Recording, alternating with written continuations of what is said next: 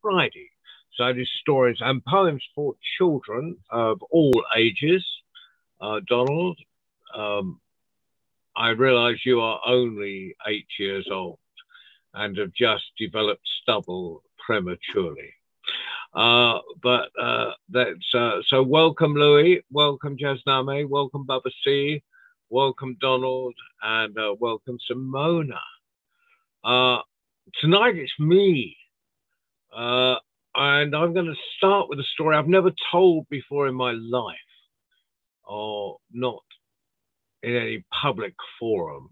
I tried it out with a couple of people earlier today, and it's a Thai story, and it's one I kind of like because uh, we've all had headaches. And it's from way back in time when all the animals could talk to each other and chickens still had teeth. And the elephants were happily trundling through the forest. You could hear the cracking of twigs, and there's a, you know, and they sort of well, they didn't have trunks in those days to leap up and get the uh, get the high high leaves, so they were chomping their way through when they heard a crackling, and it was a fire. And they were terrified. They knew there was fire somewhere in the forest, but they had no idea of the direction and where, and had no idea of the direction to go to reach safety. When flying above them was a swarm of bees. They said, Excuse me, bees, could you, you're up high, you can see what's going on. Could you tell us a, a safe direction to go? And the bees looked to the east. And the forest was consumed by fire. And they looked to the west, and the forest was consumed by fire. And they looked to the north, and the forest was full of flames. They looked to the south, and there was a river. So they said, Go south, go south. Well, we'll, we'll, we'll, we'll guide you. And so the bees flew up ahead and the elephants crashed through the forest. They came to the river and they leapt in the river and they just kept their noses, like I say, they had quite short noses. Well, they weren't the trunk size, they were sort of my size. Quite, quite large, but not as big as a trunk. And uh, they were breathing away under the forest when Oh, thank you, bees. But of course, as the flames got nearer, the smoke got thicker. And as everyone knows, bees don't like smoke. That's how beekeepers get them out of their hives so they can collect the honey. And they said, the elephants, elephants, uh, open your mouths so we can fly inside and you can save us from the smoke. And the bees thought, well, you saved us, we'll save you. And they opened their mouths, and the bees flew inside. Now, you can imagine the noise the bees made inside those elephants' mouths. And the elephants were thinking, well, it'll only be for a short time till the, the fire passes over and and, and they did save us, and so they could stand this. It would be like having a headache for a short time. It was buzzing, and it's all echoing around the mouths. Eventually, the fire got to the river and leapt over the river and carried on its way.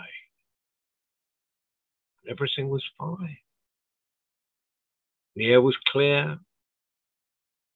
The elephants opened their mouths and so you could leave now. And the bee said, Well, actually, tell you the truth, we kind of like it here. We're, uh, it's dark, it's damp. Uh, we, would like to make our honey here. And the elephants yeah, and uh, it's driving them crazy. There's noise of buzzing inside their heads. It's just, you know, like, it's uh, like having a, a road drill outside your house that just goes on for 24 hours a day. And the elephant started uh, They sucked up some water and they started blowing it out their noses, hoping that the bees would leave through their noses. And they did this time and time again. Still, their mouths were full of bees, but unfortunately, their noses were getting longer and longer and longer. They thought, well, we can't have this. You know, it's not working. And we've ended up the, with these huge long noses. And then they thought, well, bees don't like smoke. If we light a little fire, and we breathe in the smoke through our mouths, you know, we'll choke a bit, but the bees will leave. And uh, so they got a little fire going. And they used damp wood to make sure that there was a lot of smoke and not much flame. When there was a lot of smoke going, they all breathed, and the bees left. ever since then, if you look at elephants, they've still got those same long noses. Now, if you look at where bees choose to live in the wild,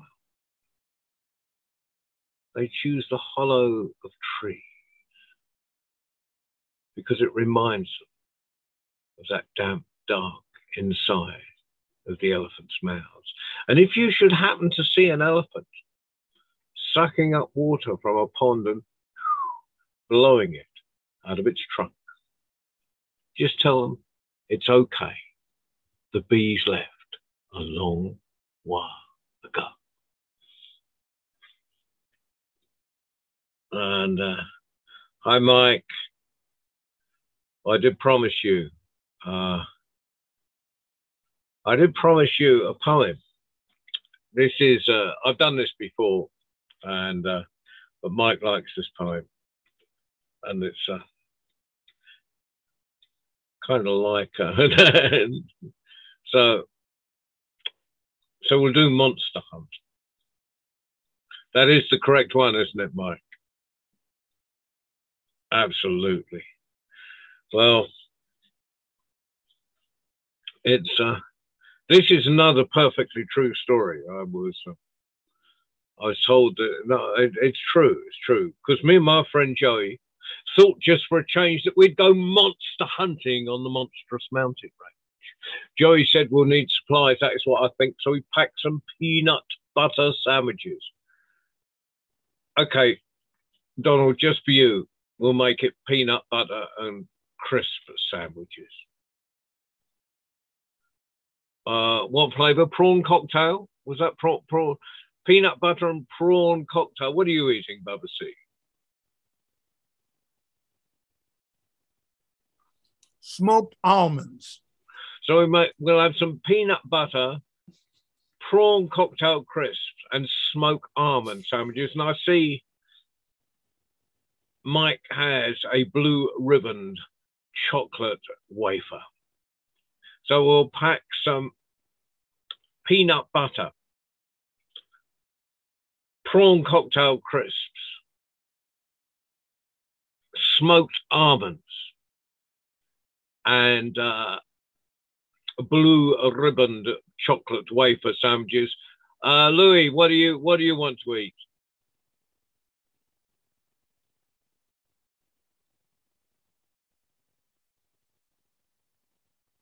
Uh, do you like ice cream, Louis?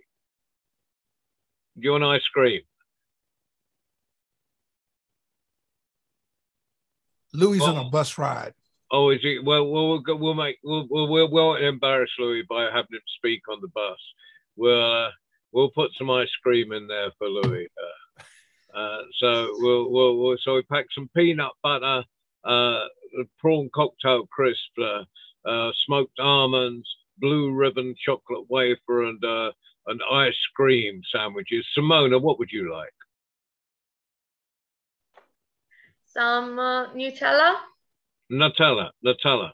Okay.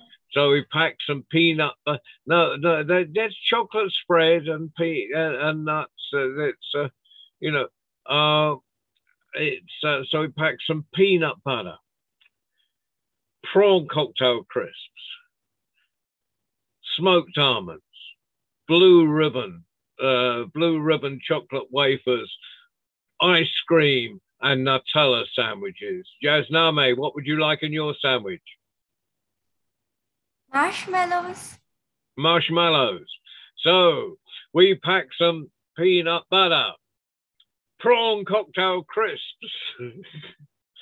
smoked almonds, blue ribbon chocolate wafers, Nutella, ice cream, and marshmallow sandwiches. And Ali, what would you? Now we know you can't be eating for another few hours, but what would you like in your sandwich?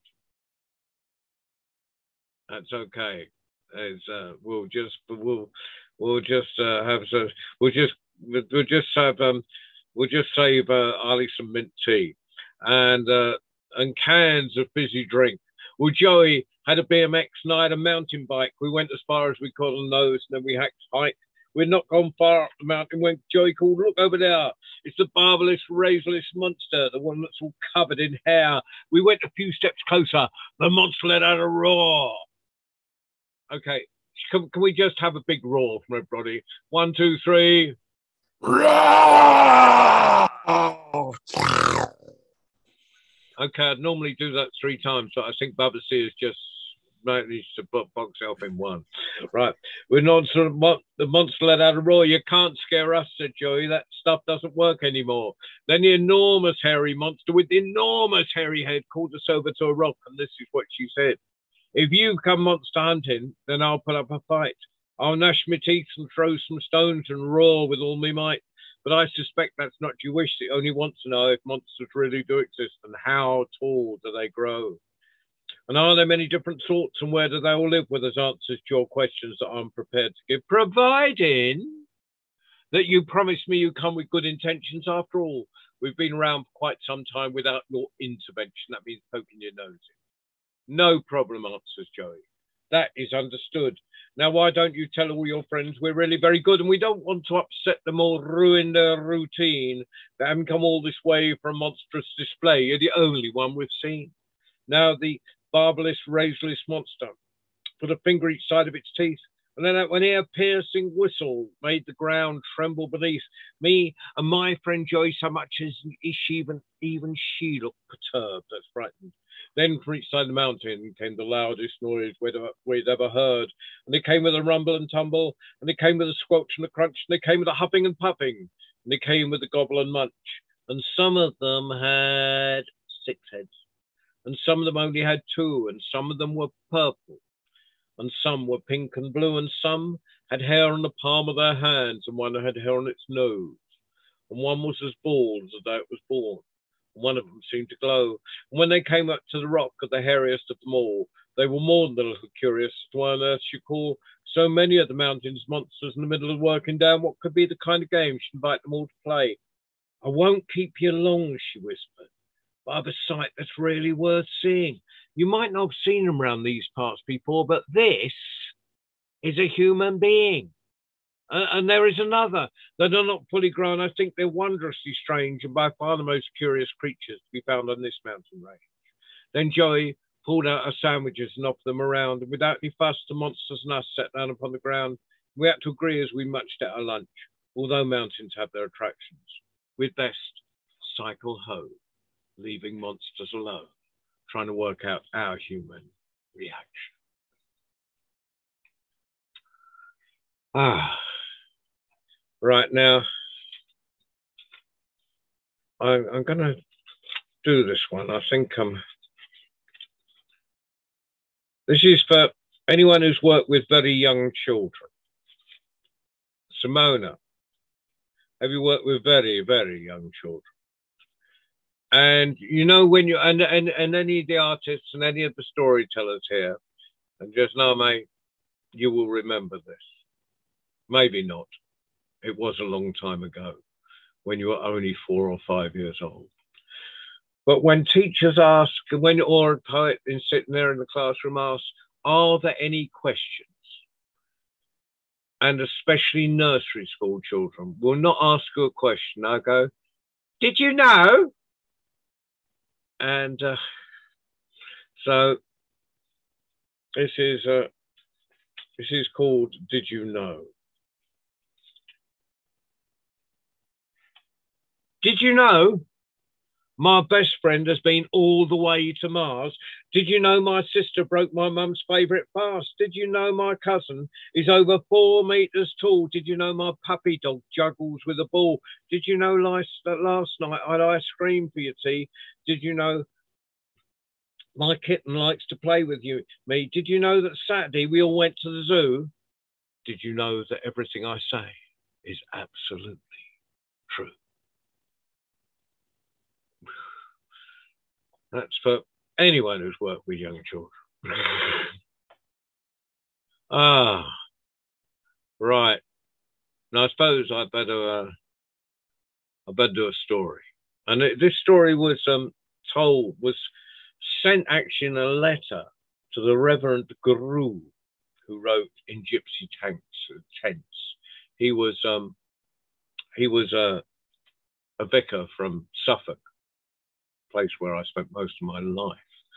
And uh, he he travelled around. He wrote he, he, he wrote he worked travel with gypsies and and spent a lot of time. And he made great friends with a guy called John Roberts, who was a Welsh gypsy. Um, he was Queen Victoria's harpist. He played harp for Queen Victoria, and he was a fiddle player as well. And uh, he's possibly I'm maybe related in some way, but that's a kind of vanity. I've got to dig that out. But my great grandfather was a, uh, a, a, Welsh gypsy called Robert, so possibly, possibly. And uh, but he was um, and he wrote he he wrote down he wrote this down the story.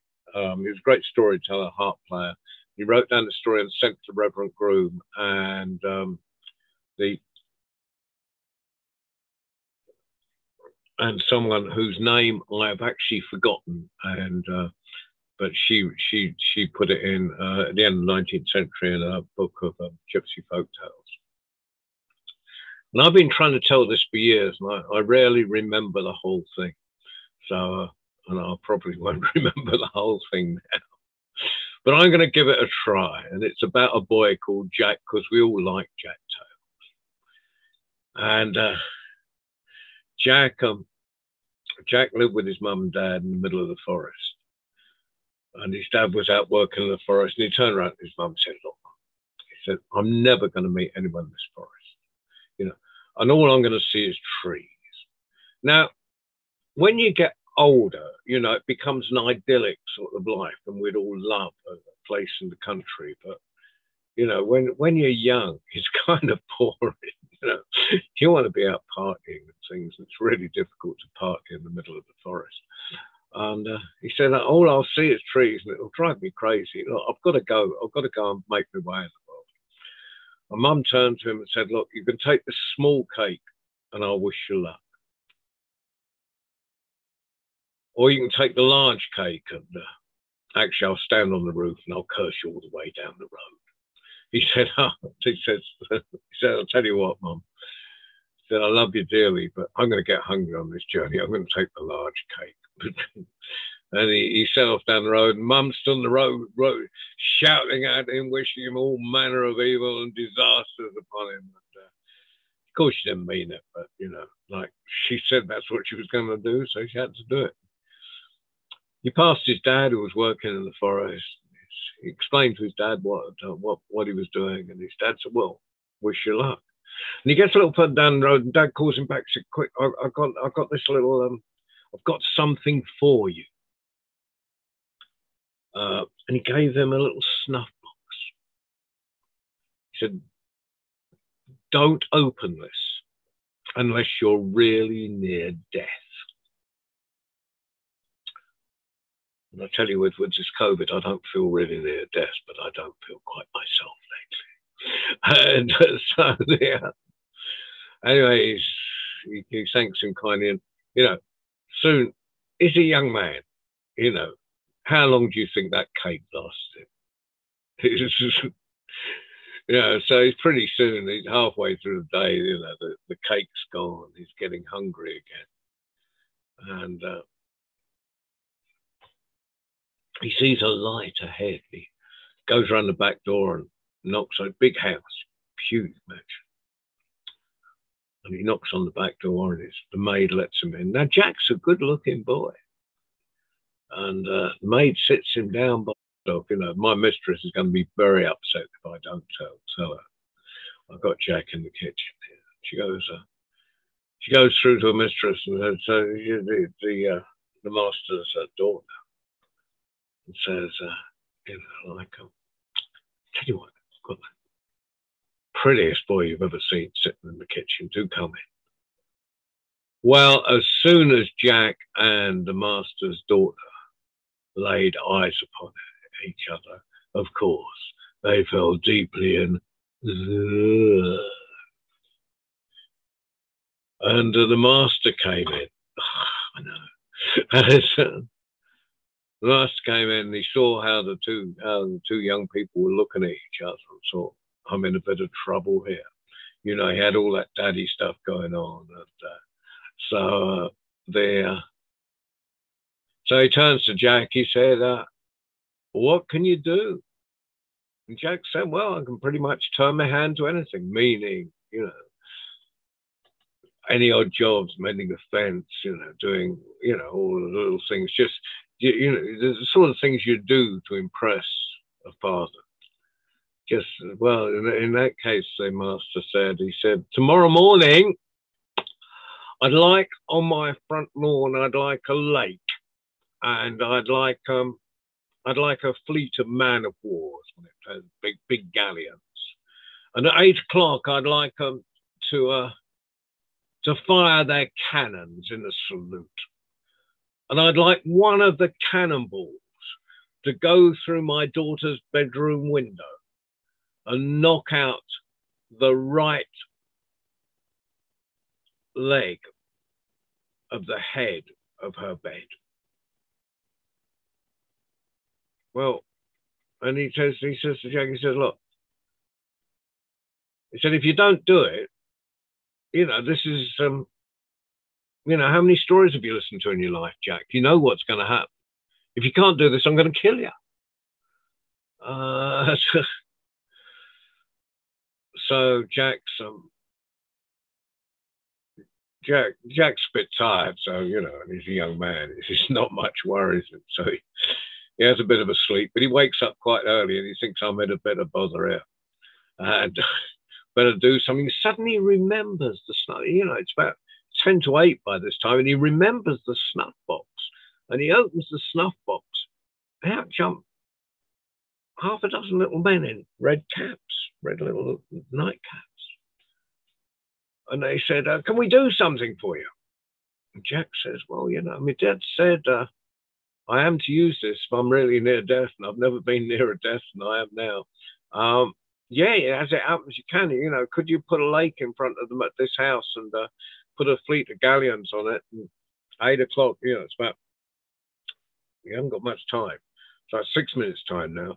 Uh, could you just um, fire a cannon, fire, fire, fire a salute on the cannons, and, and could you have one of the cannonballs come through the master's daughter's window and uh, knock out the right leg of the head of her bed? Not a problem, said the man. Would you believe it? Eight o'clock on the dot. There's the lake. He looks out the window. There's the lake. There's the galleons on it. There's the cannons firing. Through the window, knocked out the right leg of her bed. Head of her bed. Master, you're a clever fellow. He said, uh, he said, I'll tell you what, I'll give you another task, see if you can do that. Could you, uh, you see all that forest out there? You know this is this is before the days when people tried to preserve forests. Well actually they're not trying to preserve forests now. In theory they're trying to preserve forests. In fact the forests are being cut down faster than ever before in history. But there is, you know, and this is before they even knew it was a bad thing. He said, he said, I'm, I'm fed up with, you know, it's forest blocking my view. Could you take down all the trees as far as my eye can see? And if you can't, you know what's going to happen. Off with your head. Got till tomorrow morning. Whoa.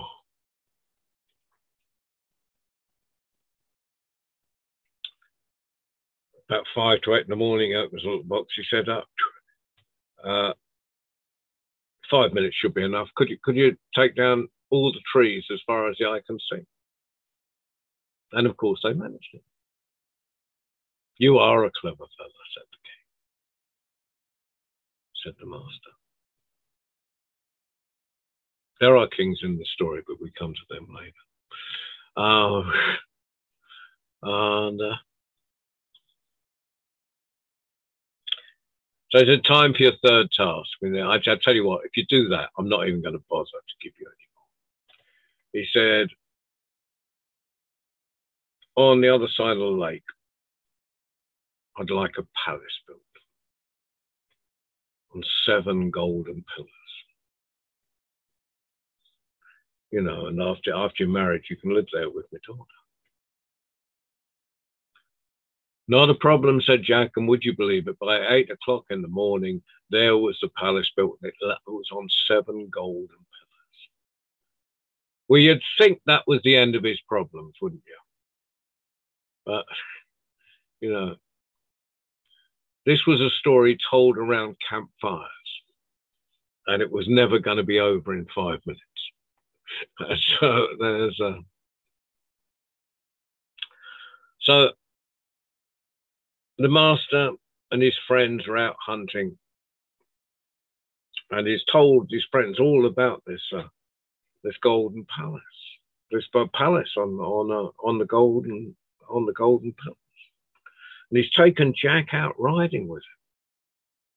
But Jack has left the snuff box in his waistcoat pocket, hanging in his room. And the servant, one of the servants, is cleaning the room and she feels something. He pulls out the snuff box and of course he, he just thought, well, you know, I need to, I need to know uh, you know, you, you don't just pull out a snuff box like that and not open it. Well, you know, even, even if you didn't mean any ill, you'd do it, wouldn't you? Just just be curious. Open the snuff box and out jumped the little man with the red hats on. Can we do something for you? He said, whoa, whoa, whoa, whoa, yes, you can. Could you, uh, could you move that palace, that golden palace on the seven, uh, on the seven, um, on the seven golden um, fellows, could you, could you move it to the other side of the sea and me with it? Well, when the master got back and Jack with him, the palace was nowhere to be seen. The master turned around Jack and said, you're, you're playing tricks on me. You're playing, you've made me look like a fool now in front of all my friends. You got a year and a day to get the palace back. Or if not, I'm going to hunt you down. And you know what I'm going to do. Off with your head. Whoa. Well, off goes Jack. He he's got a half decent horse by this time. He rides off and he goes down the highways and byways. Can't find the palace anywhere. And he, he came to the palace. And I told you there was going to be a king or two in this story of the king of the mice. And there's a little mouse sentry sitting on the uh, sitting guard in the gateway, and he asked Jack his business, and Jack said, "I've come to see the king of the mice." And the king of the mice took Jack in, and uh, Jack told him his tale, and he said, "I'll help you. I'll help you." He said, "You rest. You rest till the morning. Then I'll call all all the mice." in the world. And I'll ask them if any of them have seen the Golden Palace. Next morning, he, he Jack Etwell You know, you can be sure if there's any story with Jack, he's going to eat well through the whole story. And so he's eating really well. He's, he has a great night's sleep. He's sure this is going to work. So next morning, the king of the mice calls the mice. But none of them knew where the palace was. None of them had seen The king of mice said, "Take you, but change. I'll, I'll lend you a new horse because uh, you know those Baba C knows this. Those people who, you know, the, the, the, the in, in, countries where you re, ride for a long time, you swap your horses the, in the next day because, you know, they're, they're tired out the end of the day. You probably worn them down. So he's given a fresh horse and he's given a cake. He says, uh, he said, my, you know, he said, don't eat this. I know what you like, you boys, but don't eat it. Take this to my brother who happens to be the king of the frogs he might know. Well, over went, but as he as he was leaving, the little mouse sentry said, "Could can I come with you?" He said, "Look, I'm not sure the king will be too bleak. No, no, I'll be really useful." It's all right. Climb up, and he climbed up the horse's leg and leapt in the, uh, the waistcoat, Jack's waistcoat pocket, or vest pocket if you happen to be transatlantic. Uh, and uh, then uh, you know, and by that, Louis, I don't mean something, you know, that, that is like a tank top with no, yeah, but uh, uh, so, uh, and off they go, and they come to the king of the frogs. And same thing happens there. The poor, poor, he rests well. He gives a cake to the king of the frogs. They eat well. Next day, all the frogs are called. None of them know But as he's leaving, he's given a cake. He said, my brother is the king of the birds. Go and see him, he might. Then he's leaving the frog, little frog sentry says, Can I can I come with you? And of course he leaks in the other waistcoat or vest pocket. And uh, it was a uh, and they come to the king of the birds. And the king of the birds, uh, he rests up obviously and Next day calls all the birds. None of the birds know it. He's just about to give up when the biggest bird you've ever seen, the eagle, flies in. Says, do you happen to have, yeah, I like that. I like that flying, Babasi. That's really good. I normally do it with my arms outstretched, but it's kind of difficult on Zoom. And uh, the so he says, Do you happen to have seen a, a golden palace? He said, Yeah. He said, uh, he said, That's why I'm late. I, I just saw this thing. I hung around for a while. I'm like, Hey, it's a long way off. He said, Well, can you take Jack? said the king of the birds. I said, Yeah, but I need some food first. So they killed a thief. So they had, uh, so the eagle had something to feast on. I know, but it's how it was told around the fire I'm not responsible for that. Uh, so he had the best parts. Or the eagle had the best. No, I mean, Jack wasn't a cannibal. Um, the, the, the, it was the eagle that had the best parts of the sea. And off they flew. And they get to the palace and they wonder how they can get out the snuff And I says, I tell you what, we'll wait till everyone's gone. I'll crawl under the, uh, crawl under the door and uh, maybe I'll see. Maybe maybe I can get the snuff box, and if I can't, maybe I can get the key. So, and he finds the snuff box, but it's just too big to get out the, underneath the door. So, climbs up the door and he knocks down the key and pushes that out. And Jack lets himself out. They take the the snuff box. They're flying off across the back across the ocean. And they're all like, well, you know, the eagle and the mouse are arguing about who was really responsible for getting this box back. You know, they, they, they, they, you know, the way people argue. I did the job. I did the job. No, I'm most important. When inevitably they drop the box into the ocean. And the frog thinks, now's my moment, leaps out, and he stays under that water for three days. And he pops up. Have you got the box now? And he goes down again, he stays underneath for another three days. And he pops up.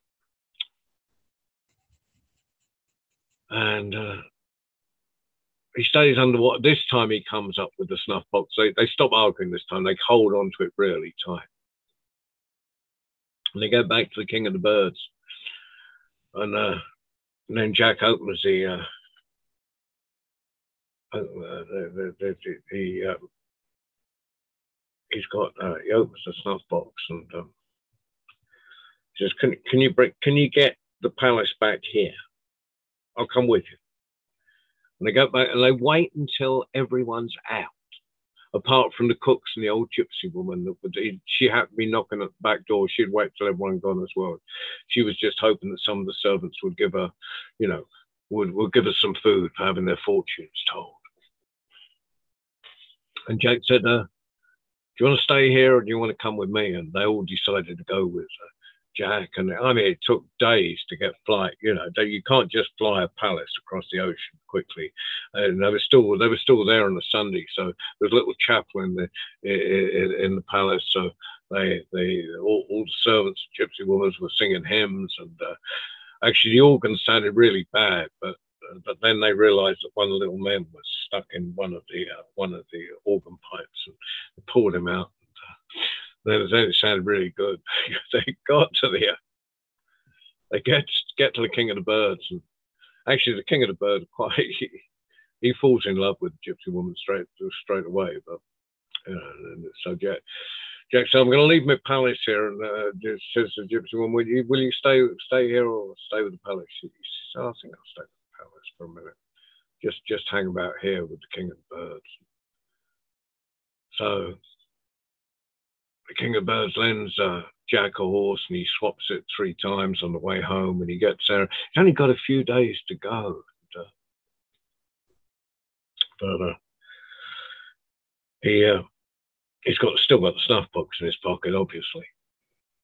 And, and, he, and his wife is kind of really upset because he hadn't brought the palace home. She, she really liked him. She didn't want him to his head cut off and she kind of liked her palace as well.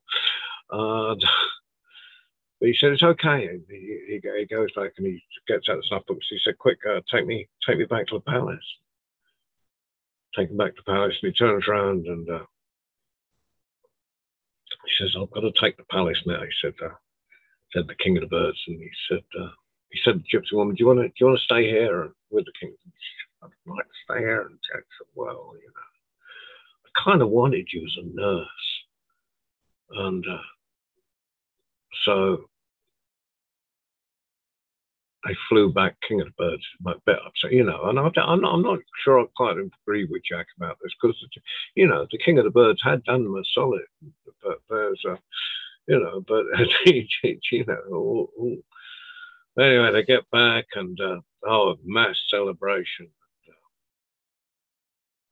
Jack's kind of feeling bad, you know. Gypsy woman looks heartbroken, you know. She could have been married to a king, so and she's kind of by herself. And, uh, you know, I'd already asked her who her people were. She said, oh, the Lovells, the Smiths, the Lees, the Stanleys, all the big gypsy families. And uh, so Jack opened his little snuff box. And he said, could you go and get a decent sized galleon and go and gather the gypsy woman's families. And they did that. And all the gypsies lived on a brilliant encampment. You know, it was the finest sight. You know, they, I've seen some great sights, but this was the greatest sight ever. It's down by the lake. And for generations, the children from the big palace the gypsy children played together. And for generations, the gypsies nursed those children. And I tell you what, if you, you couldn't have told who was who eventually. I know this because last time I was there, I sat round the fire. And someone with a really long memory told me all about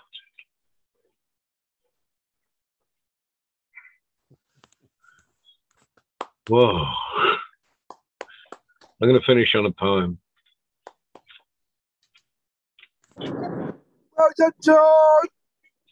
Hey, do you like that, Louis?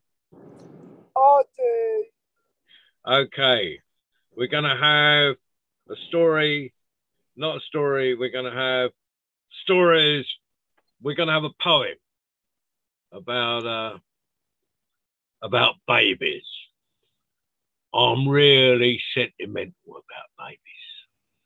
I mean, what else could get a fully grown adult to put its head in a box, going coochie, coochie, coo? But the weirdest thing is that adults, as soon as they're born, adults want them to speak. Say mama, say dada, say mama, say dada. Eventually they go, dada. There's notices down the post office. It says, dada. Uh, they're ringing up Aunt Mabel in Australia. Then it has to walk. They hold it up by its hands. Every adult knows that it's really bad for babies to hold them up by their hands. It pulls their, their arms out of their sockets, but no one takes. Can you take it? All right, I'll take a step. Just, just, just let go of my hands. It's hurting. Takes three steps. Oh, There's great joy. They're they've sending letters off. They're sending cards. They're putting it on the internet. They're putting it on Facebook. They've got photos of it and everything. For the rest of its life, the poor little thing is told to sit down and shut up. So anyway, so this is my. I'm going to finish with this. It's um.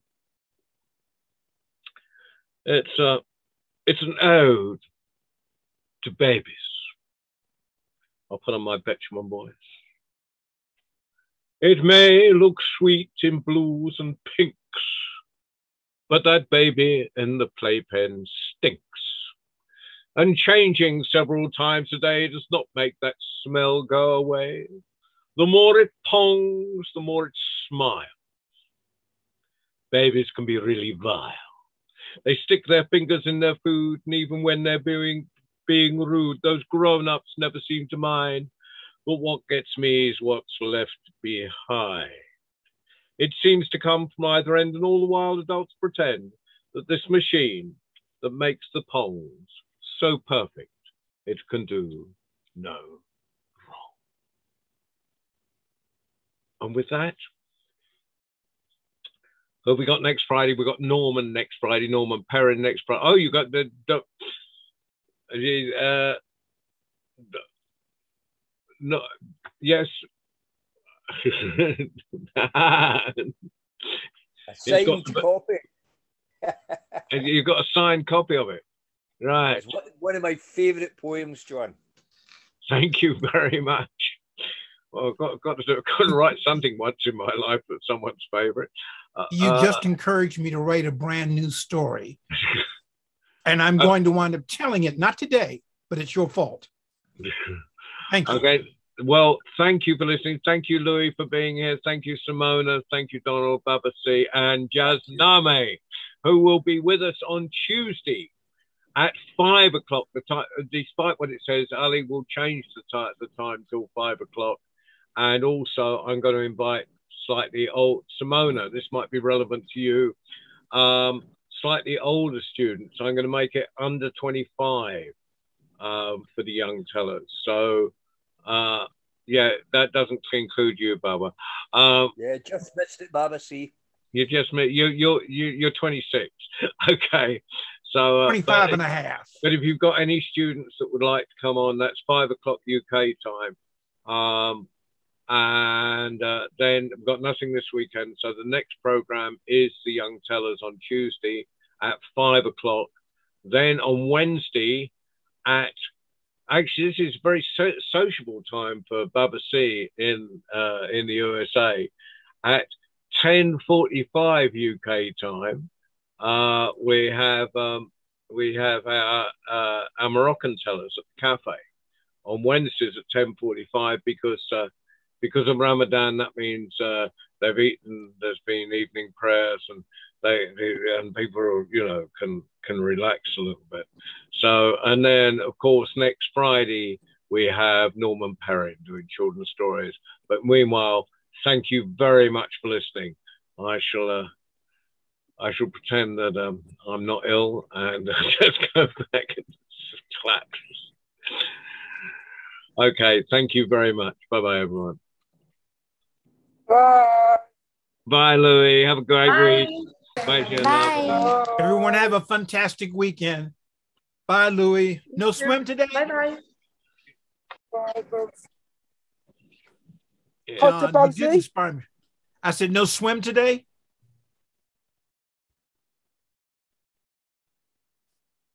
And John, you did inspire me to write a story. And I am blaming on you because it has a pun involved. Okay. Right, Ali, thank you very much for uh, flying the magic carpet.